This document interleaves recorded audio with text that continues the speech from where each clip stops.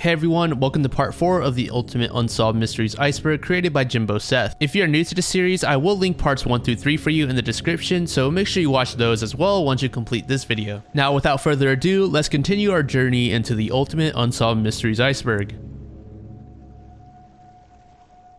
Mess O' Blues is the partially found prototype short of the Johnny Bravo Cartoon Network series. At first, the show was supposed to focus on three Elvis impersonators, but due to the time constraints, the creator Van Partible cut the idea down to one Elvis impersonator. The short would be shown to some staff members at Hanna-Barbera Productions, and they would absolutely love it and ask Partible to pitch it as a 7-minute cartoon. The Mess O' Blues short, as well as Partible's pitch, would eventually develop into the Johnny Bravo character. Partible also wanted to make Johnny Bravo a bit more unique and not strictly tied to a single real life entity such as Elvis. This would lead to Johnny's design resembling James Dean in appearance while retaining the Elvis like speech. The only footage that has ever surfaced of Mess O' Blues are a few short mute clips from a mini documentary that was included as a bonus feature on the Johnny Bravo Season 1 DVD.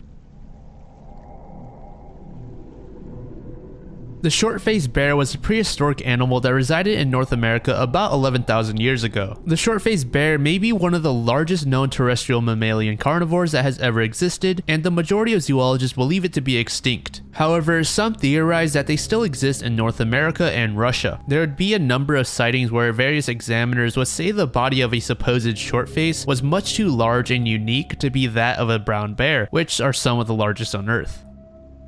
And before we continue, I would like to take a short break and talk about today's sponsor. This video is sponsored by Raid Shadow Legends. By now, I'm sure you have all heard of the immensely popular dark fantasy RPG, Raid Shadow Legends. With over 600 unique champions to collect, customize, and battle with, there is never a dull moment in the game. Raid has been one of my favorite games to play while I'm working on my videos, and you can download it for free on your PC or mobile device today. One of my favorite factions are the High Elves, having been one of the first civilizations around and assisting in the development of other groups after the fall of the Lizardmen Empire. But their story does not come without any trials or tribulations, as they had to fight and survive the constant onslaught of orc rampages that plagued the continent. Furthermore, the High Elves have experienced the pain of betrayal, having had their own people convert the kingdom of Aravia to shadow magic, which led to a civil war amongst themselves. Ultimately, the Dark Elves were exiled and Aravia rebuilt themselves to become the brightest, wealthiest, and most powerful country in the realm of Teleria. If you download Raid this month, you can get your hands on some amazing new content. Introducing the brand new faction, the Sylvan Watchers, which if I may add, just look amazing. Moreover, we got a new season of the Forge Pass and a full lineup of fresh events where you can obtain some of the most powerful gear that grace the game. And finally, if you are an Amazon Prime member, you can get yourself some free exclusive rewards right now. There's no better time to begin your journey in Raid than now. And if you click the link in the description or scan the QR code you see on screen, you'll get extra bonuses worth $30. That's a free epic champion, Rector Droth,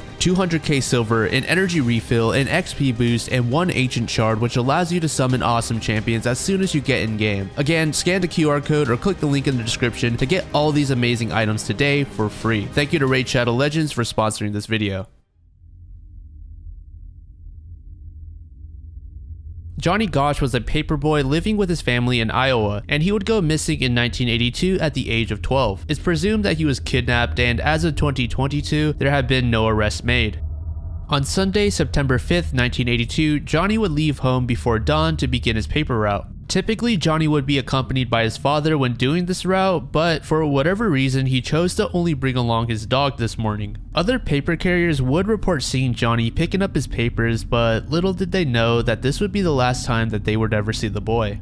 A few hours later, Noreen and John, which are Johnny's parents, would begin receiving phone calls from customers complaining that they haven't received their papers yet. And yes, Johnny's father was named John, so whenever I say John, I am referring to the dad. John would venture into the neighborhood in search of his son to find out why he hasn't delivered the papers, but to his surprise, he couldn't find Johnny anywhere. Instead, he was only able to find the wagon that Johnny brought along to carry the papers. John and Noreen would immediately contact police at this point, but according to Noreen, the police acted very slowly with little to no urgency. She estimated that it took almost an hour before the police even showed up to their home. Initially, the police would say that Johnny was a runaway, but would later change that statement and say Johnny was kidnapped.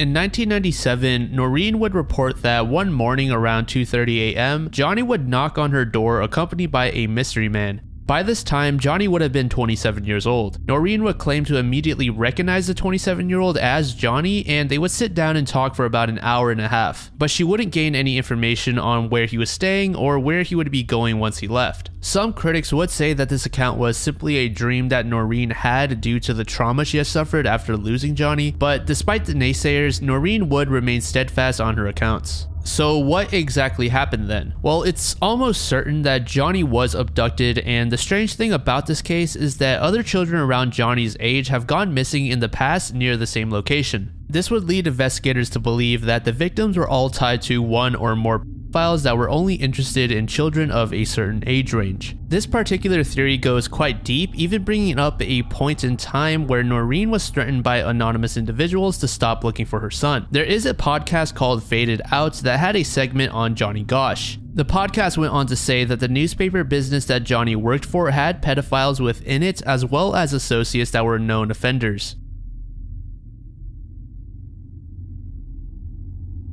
So, from a few sources, I was told to be kind of careful when it comes to this entry. I'm just going to provide you with the facts of the events and you guys can come to your own conclusions. And being that this case does involve a child, some of you may be sensitive to the contents within this entry, so feel free to skip to the timestamp on screen. JonBenét Ramsey was an American child beauty queen who was killed at the age of 6 in Boulder, Colorado. A handwritten ransom note would be found in the Ramsey home, and of course at this time the family would assume that JonBenét was still safe, so they would decide to contact the police. Less than 8 hours after the police arrived, JonBenét's corpse would be found inside the family's home in the basement. On her mouth would be a strip of duct tape as well as a smooth cord wrapped around her neck. Her skull would also be found broken, but the official cause of death would be ruled as asphyxiation. The case garnered worldwide media interest due to the girl's age and fame within the beauty pageant community. The case has gone cold over the years and remains open with the Boulder Police Department. It was also said that the crime scene was heavily compromised before the police could even investigate. The police would later add that they never even bothered to search the Ramsey household as the ransom letter gave them no reason to believe that JonBenét was inside the house. DNA on JonBenét's clothing would be found leading to a single mystery man who was not found when comparing to over 1 million other samples. There is no definitive evidence pointing at any particular suspect, but some internet investigators would say that the note was a fake and was only meant to serve as a red herring. Again, as much as I'd like to continue with this entry, I'll leave the rest for you guys to speculate on. And just like any other topic on this iceberg, if you are interested in learning more about the case, you can click the link in the description which will take you to the iceberg which has every single entry linked. Joseph Merrick, aka the Elephant Man, was an Englishman known for having severe deformities.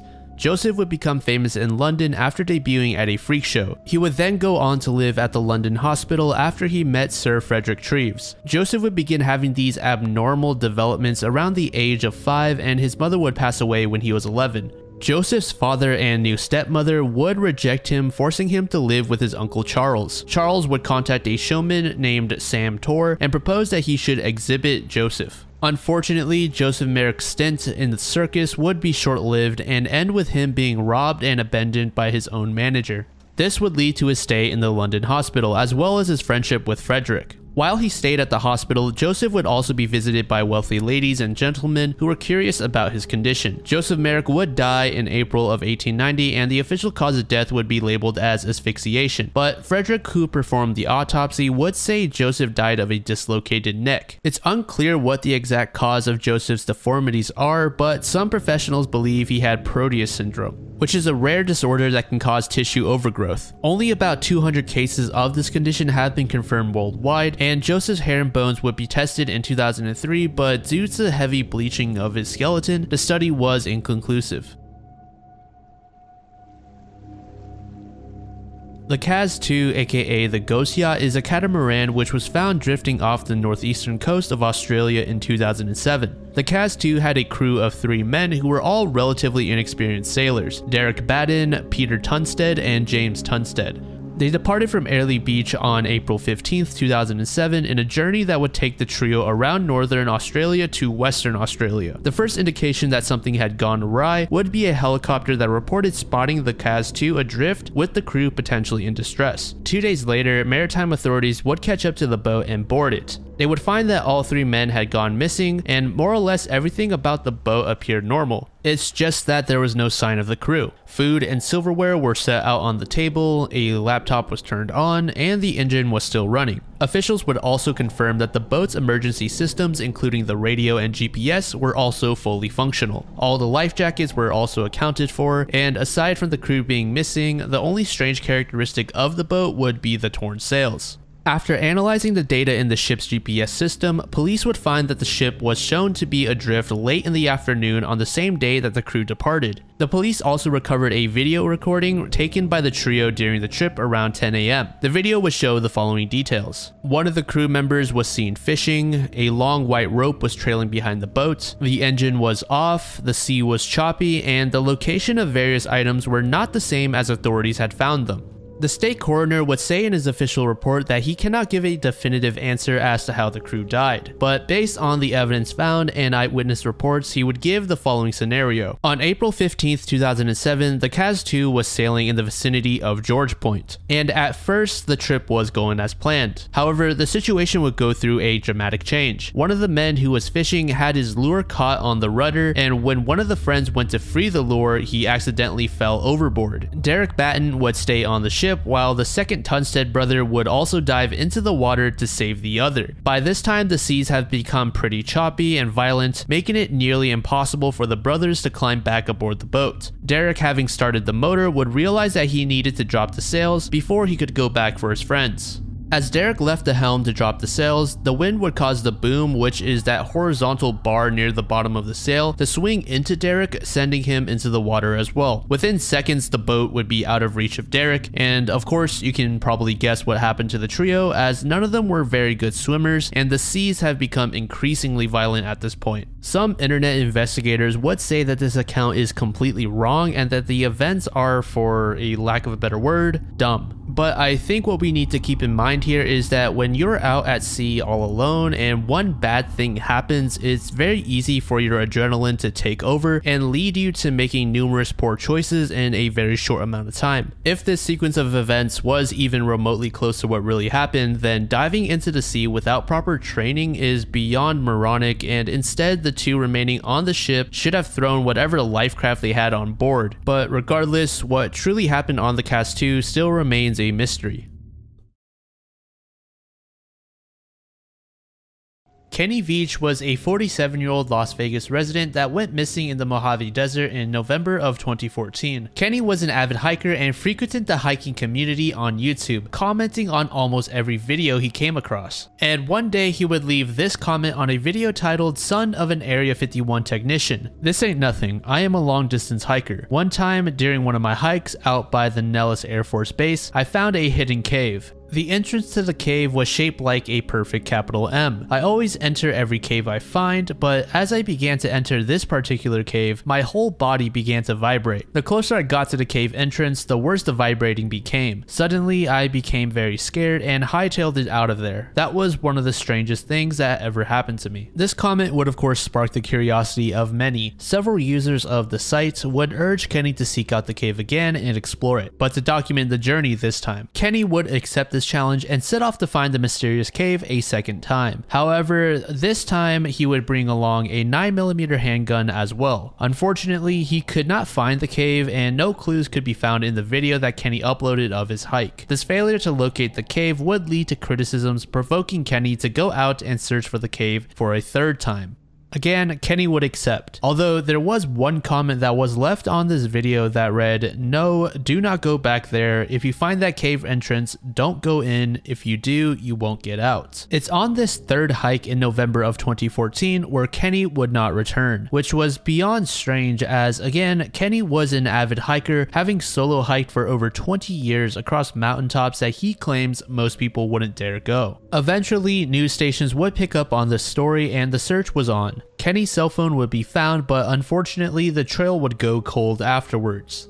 So, what was Kenny's fate then? Did Kenny fall down a mine shaft? Did he get lost and die from dehydration? Or did he stumble across a secret military base of some sort? Remember, Kenny did live in Nevada, and for all of my alien enthusiasts, this is supposedly where Area 51 is, leading some to think that Kenny stuck his nose where he shouldn't have. Another popular theory is that Kenny may have taken his own life, but based on his liveliness in his videos and comments, many investigators do not believe this to be true. Kenny's supposed girlfriend would eventually come out and make a comment, but even she doesn't really have any idea what really happened to Kenny.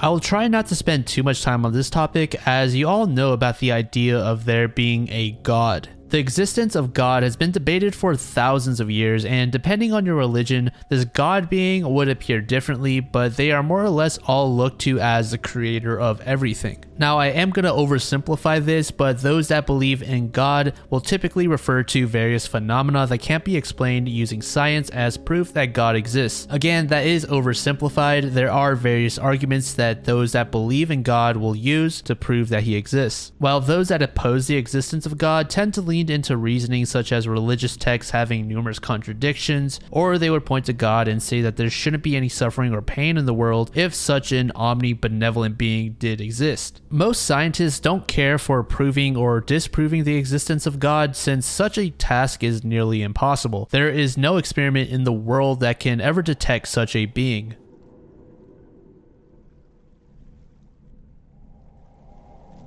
The Jack family consisted of four people who went missing in August of 1989. Doreen and Ronald, aka Ronnie, who were 26 when they went missing, Russell, who was 9, and then Ryan, who was 4. On August 1st, 1989, Ronald Jack would leave the First Leader pub in Prince George, British Columbia, with a spark in his eyes after being offered a job opportunity that had the potential to change the trajectory of his family's lives. Up until now, Ronnie had been out of work due to a back injury, and the Jack family was forced to live on welfare. This mystery man would offer Ronnie and his wife jobs at a logging camp. Ronnie would be responsible for bucking logs, and his wife was assigned a spot as the cook's helper in the camp kitchen. Additionally, the camp had a daycare for the family's two young sons, Russell and Ryan. Already, this may sound a bit too good to be true for a family that was really struggling to get on their feet. Well, you would be right for thinking so. On top of all of this, the man offered to drive the Jacks to and from the camp since they did not own a vehicle. Ronnie would call his brother and his parents around midnight to tell them about the camp job and that Ronnie, his wife, and the kids would be gone for about 14 days or so. Around 1 a.m. on August 2nd, the four members of the family would be seen leaving their home and stepping into the mystery man's dark colored pickup truck. It was at this point where they would never be seen again. It wouldn't be until August 25th where the family would be reported missing, and for almost seven years, the police would not have any hints as to what happened to the family. On January 28, 1996, at around 8:30 a.m., a man in Stony Creek called the Vanderhoof police with a short message. The Jack family are buried in the south end of X Ranch. Now, the caller didn't actually say X Ranch. They did give the name, but it was too difficult to understand, and so the police were not able to find the bodies. Investigators would publish numerous appeals in newspapers begging for this mystery person to call once more, but no luck. Eventually, the police would be able to trace the phone call to a house in Vanderhoof, but that didn't lead to the culprit being identified. Over the years, the RCMP would interview hundreds of people, go through thousands of documents related to the case, and comb several properties in search of the Jack family, but each attempt has failed. The most recent search actually happened in 2019.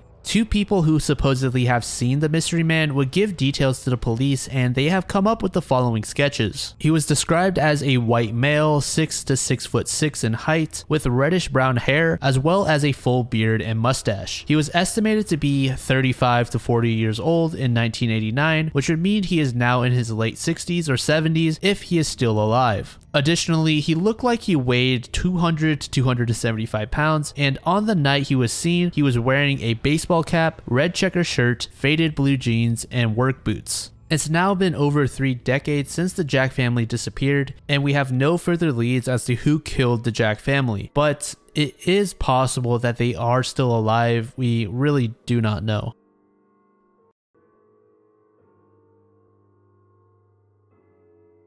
Mirror matter is a hypothetical counterpart to ordinary matter. Modern physics involves three basic types of spatial symmetry. There is reflection, rotation, and translation. And I'm not going to BS you guys with a bunch of technical jargon here because even after reading over this topic multiple times, I'm still somewhat lost as to what the significance is. But basically, mirror matter is capable of balancing out the fact that ordinary matter tends to have left-hand bias with its interactions, which means means it can restore parity. Now, what is parity, you may ask? In layman's terms, it's the reflection of coordinates from particles from their origin. And that's about the extent of what I understood about this topic.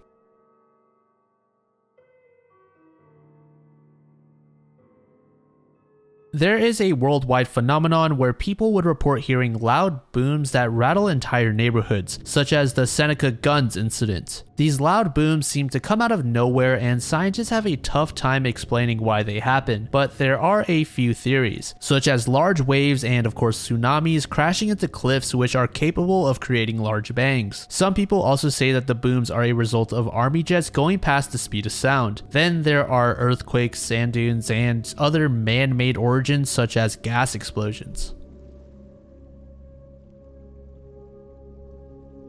Green Boots is a name assigned to an unidentified body of a climber inside a limestone cave on Mount Everest. I did say that this body is unidentified, but the majority of people believe that this is the body of this man here. I'm not even going to attempt the name, I'm sure I'm going to destroy it. The man was an Indian climber said to have died on the mountain in 1996, and obviously the name he was given was inspired by the bright green boots he was wearing. Pretty much every journey on Mount Everest on the north side would encounter the body, but in 2014 the body would be moved. Now, I couldn't find out if this body was moved off of the mountain by officials or moved elsewhere on top of Mount Everest, but I'm assuming it's the latter. Reason being is that the terrain of these mountains are extremely tough to traverse in the locations of these bodies, making it nearly impossible to retrieve them. In addition to the tough terrain, weather conditions and the lack of oxygen also make the journeys tough to justify, and even if a crew were able to reach the body, they are usually frozen in place.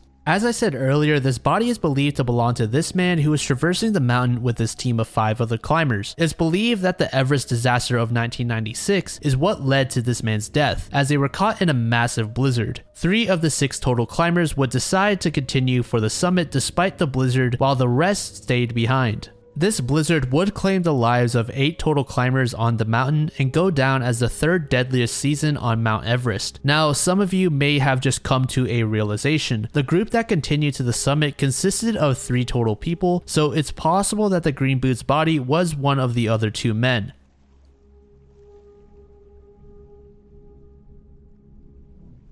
The man of the hole was an indigenous person who lived alone in the Amazon rainforest in Brazil and is believed to be the sole inhabitants of a protected indigenous territory that was demarcated by the Brazilian government in 2007. And the Man of the Hole's tale is a pretty sad one. The Man of the Hole's people were all killed in a genocide by Brazilian settlers earlier in time. After this event, he would choose to remain isolated until his death in 2022, but he would leave the world with something strange. In each of his former homes, he would leave behind a deep hole with an unknown purpose, which is what gave him the nickname Man of the Hole.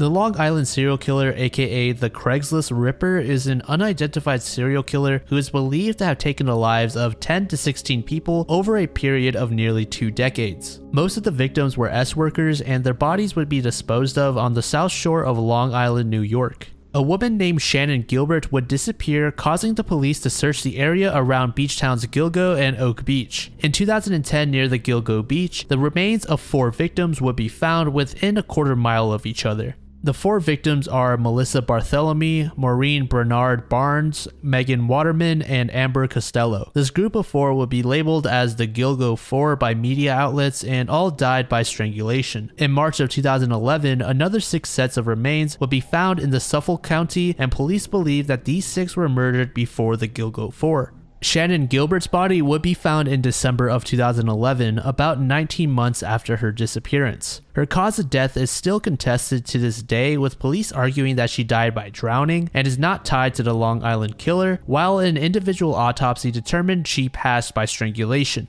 On September of 2017, the Suffolk County prosecutor announced that a carpenter from Long Island named John Bittrolff was a suspect in at least one of the murders. What brought this on was John's conviction in May of the same year, where he was found to be responsible of the murders of two S workers in 1993 and 1994. Furthermore, John lived close to where some body parts in the case had been found, but to this day, all of the murders remain unsolved. There would be a relatively large number of other suspects brought to light, but none of them would lead to any significant investigations. One of these suspects was actually a former Suffolk County Police Chief, James Burke, who was rumored to have had relations with the local S workers in the past.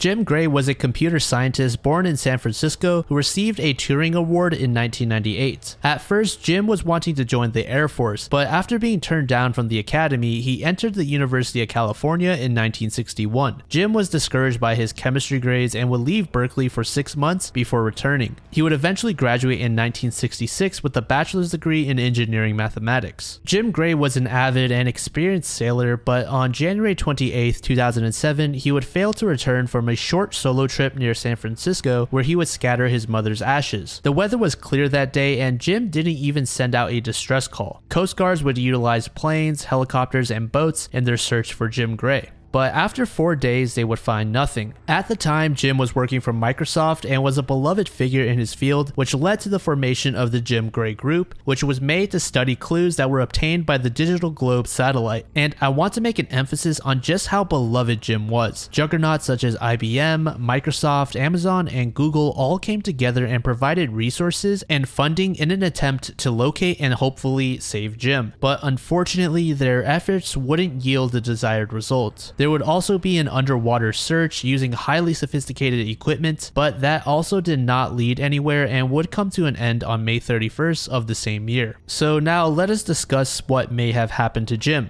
the first of which is Jim taking his own life. Some people believe that Jim just had enough of life, not in a depressing sense though, but rather he felt that he had seen and done everything he had desired and felt no reason to continue. Another theory is that he was hit by rogue waves. Jim's yacht may have been overwhelmed by nature and ultimately he was knocked overboard, causing him to drown to death. And now for the more outlandish theory, which oddly enough is probably the one that most people agree on. About three months after Jim was declared legally dead, a Reddit user would use a throwaway account under the name Tom Gold Account, where they would say the following I cut off all contact with everyone I know and moved to Kenya. I tell people a fake name and a fake background and have made it appear to my family that I died on a boat trip in the Pacific. No, I am not joking, I am dead in the United States. Obviously, this is definitely a reach. There's no way for us to know if this is actually someone who disappeared, let alone Jim Gray.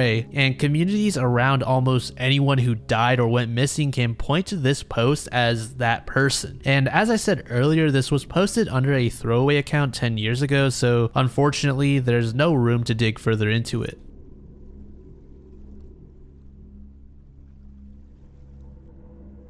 The Green Children of Woolpit is a legend revolving around two children in England who supposedly had an unusual skin color. Sometime in the 12th century, this brother-sister duo would be discovered speaking an unknown language and having a strange diet of eating strictly raw beans. And of course, by the name, their skin would appear green. The children would be taught to adjust their diet and eventually they would lose their green color. However, the boy would become ill and die while the sister was able to adjust to her new life. When the girl learned to speak English, she explained that she and her brother came from a land where the sun never shone. According to some people, she called this place St. Martin's Land. Did these green children actually exist? Well, some people believe so, while others are understandably skeptical. Most people are dead set that this was all a folktale retelling an imaginary encounter with beings from another world. But those that believe the story don't believe it in the manner it was told. Instead, they think that the story, while foundationally accurate, has been skewed in a manner where it now resembles a fairy tale more than anything else.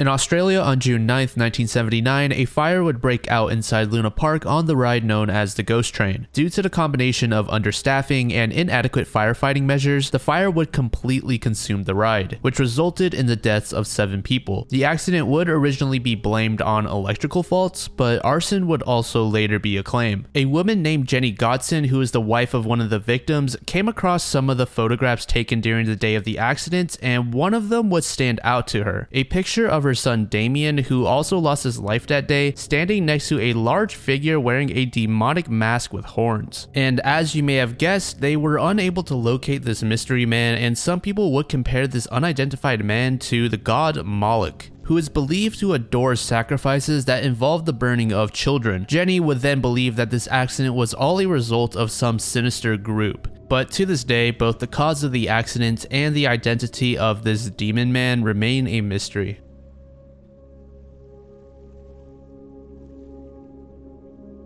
The Martin family resided in Portland, Oregon and disappeared on December 7, 1958 near the Columbia River Gorge during a shopping trip. The missing family members included a husband slash father named Kenneth, the wife slash mother Barbara, and the couple's three daughters, Barbara, who was often referred to as Barbie instead, Virginia, and Susan, aged 14, 13, and 11 respectively. However, Kenneth and Barbara also had a son who was a part of the Navy, but at the time of the family's disappearance, he was stationed in in New York. A few months after the family had vanished, the bodies of Virginia and Susan would be found downstream on the shores of the Columbia River. Police would initially think that the family's car had crashed into the river, but would later drop this idea when they couldn't come up with adequate circumstances to support the idea. The whereabouts of Kenneth, Barbara, and Barbie remain unknown, and their vehicle has yet to be discovered.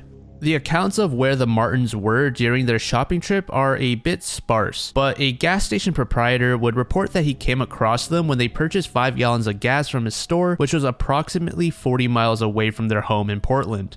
Another 20 miles east, the family would be sighted once again by a snack bar waitress who served the family. The family would then be officially reported as missing on December 9th after Kenneth failed to report to his job and the girls not showing up for school. Now, the cause of death for Susan and Virginia aren't exactly clear. One of the technicians who took the fingerprints of the girls prior to the autopsies noted that there were holes in the girls' heads that looked like bullet holes, but the medical examiner's reports would not mention such an injury and would instead declare the cause of death for both girls to be drowning. Another interesting clue I'd like to add is what was found on Susan's clothing. On Susan's t-shirt, there would be traces of metal that included aluminum and, funny enough, the location where police suspect the family's car to have met the river is not far from an aluminum smelting plant. One theory behind this case is that Kenneth crashed the vehicle into the river intentionally, but there are also theories revolving around the family being abducted and forced off of a cliffside that ultimately led them into the river. In 1961, three years after the family's disappearance, an anonymous resident wrote a letter to the Oregon Journal stating that they were parked next to a vehicle that was headed under the railroad tracks that would lead towards the river. And of course, they would say the vehicle resembled that of the Martin families. Moments later, they would hear screams coming from the direction that the vehicle went towards, but when they went to investigate, they found nothing. As of 2022, the other three family members as well as the vehicle have not been found. Henry Hudson was an English navigator from the 17th century. Hudson is most famous for his explorations of present-day Canada and parts of northeastern United States. But on an expedition that took place between 1610 and 1611, Hudson's crew would rebel against him. The British East India Company and the Virginia Company would provide funding for one of Hudson's voyages in 1610. In August, Hudson and his crew would be ecstatic, believing that they have finally found an ice-free northwest passage to Asia. In addition to being free of obstacles, the passage was believed to be considerably shorter, making for more efficient trips. Hudson would spend the following months mapping and exploring the shores, but he and his crew would realize that they in fact did not find such a passage. Shortly after this realization, their ship would become trapped in ice in James Bay. The ice would clear in the spring of 1611 and Hudson planned to continue exploring to discover the passage, but by this point, Hudson's crew had become tired and irritated and just wanted to go home. This would lead to a mutiny and Hudson along with seven others would be kicked off the ship, left sailing adrift on a small shallop. Hudson and his seven men would attempt to keep up with the ship, but they would eventually be left behind and as many of you may presume, they would soon be lost and never seen again. One of the crew members named Prickett would keep a journal on the state of Hudson after he was kicked off the ship, but many people would criticize his journal for being biased. There really aren't many theories as to the specifics of what Hudson and the men did once they were separated, but it's safe to assume they likely died of starvation.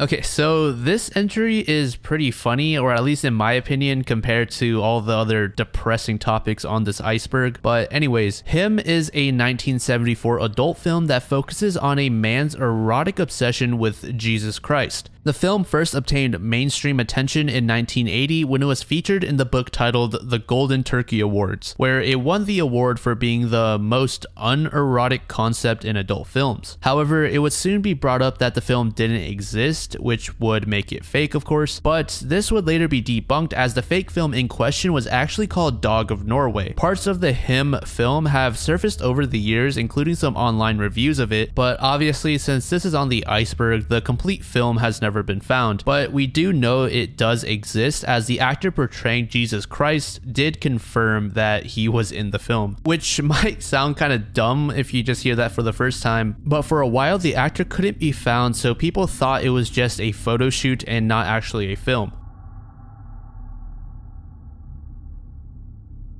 The I 70 killer is an unidentified American serial killer who killed six store clerks in the spring of 1992. And as you probably expected, the name was inspired from the fact that most of the victims worked in stores near Interstate 70. His victims were typically young, petite, brunette women, but they were not limited to just females. Along with those murdered, the I 70 killer is suspected of shooting three additional store clerks in Texas between 1993 and 1994. The 1992 killing spree began on April 8th with the death of 26 year old Robin Fuldauer in Indianapolis, Indiana. Robin was the manager of a Payless shoe source and was alone in the store when she was shot and murdered at around 1:30 p.m. Her body would be discovered by police in the back of the store around 3 p.m., and the culprit would leave with less than $100 from the cash register. The following two murders occurred on April 11th at a bridal shop in Wichita, Kansas, which is about a two to three hour drive from Indiana, where he took the life of his first victim. The two victims in Kansas were Patricia Smith, who was 23 years old, and then 32 year old Patricia Magers. This would be the only time that the killer took out multiple people in a single location, making police believe that he thought only one woman was in the store at the time.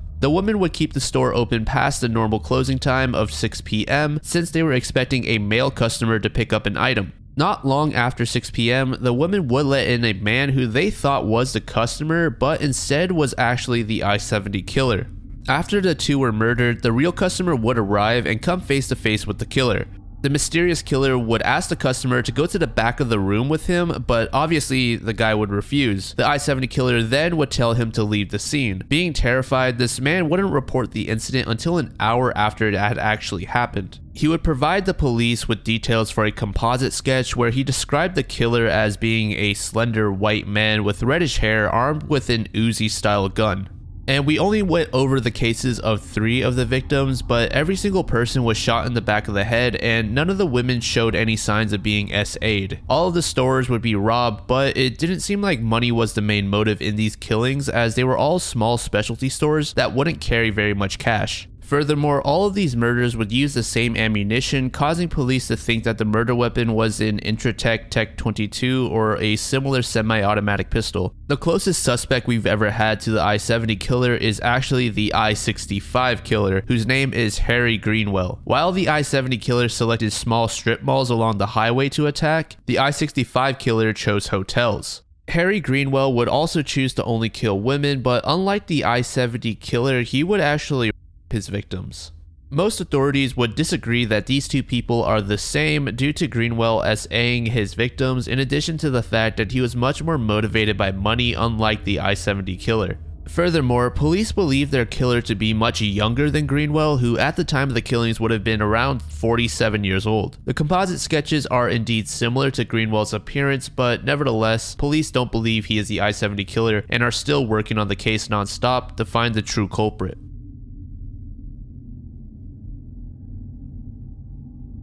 Black holes are, well, holes in space where the strength of gravity is so immense that nothing, not even light, can escape. But what happens when you go through one of these black holes, or rather what's inside of it? We aren't entirely sure, but they are believed to contain an excessive amount of matter, and one comparison says to think of a black hole as a star that is 10 times as massive as our sun, but squeezed into a sphere that is approximately the diameter of New York City. And is it possible for a human to even pass through one? Theoretically, yes, but it's not likely you will survive the trip into the large black hole. Additionally, it is said that when coming close to a black hole, time will slow drastically. From the point of view of an observer, someone falling into the hole would appear frozen in time at the edge. All that being said, it's probably easy to assume that we don't know what lies inside a black hole, but we can still theorize. Most scientists believe that inside we will only find a very dense amalgamation of mass and energy, and aside from what has passed through, it's only space inside.